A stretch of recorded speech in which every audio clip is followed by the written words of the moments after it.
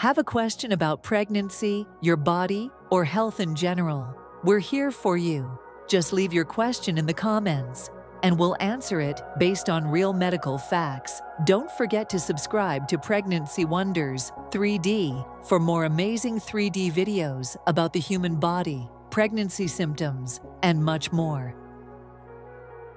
Early pregnancy symptoms before missed period what most women miss. Are you curious if you could be pregnant even before your period is late? Many women start to notice subtle changes in their body's days or even a week before a missed period. But these early pregnancy symptoms are often overlooked or mistaken for regular premenstrual changes. Let's break down the most common early pregnancy symptoms that can appear before a missed period, based on medical research and real experiences from women across the United States and Canada. The first sign to watch for is implantation bleeding. This is a very light spotting that happens when the fertilized egg attaches to the lining of your uterus, typically 6 to 12 days after conception. Implantation bleeding is lighter and shorter than a regular period and is usually pink or brown in color. Next, pay attention to breast tenderness.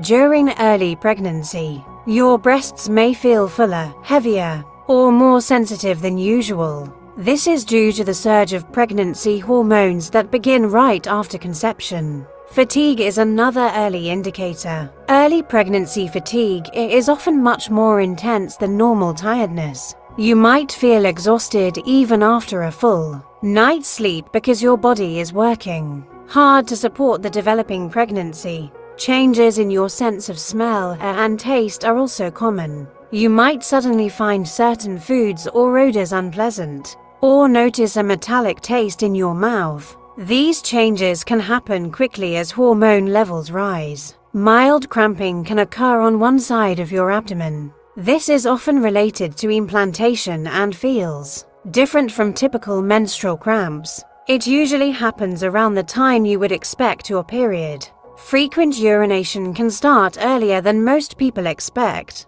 Increased blood flow to your kidneys may make you feel the need to urinate more often, even before a missed period. Mood swings and emotional changes can also appear in the first week after conception. You might feel more emotional, irritable, or sensitive, even if there's no obvious reason. For those tracking their basal body temperature, an elevated temperature that remains high past your expected period can be another early sign of pregnancy.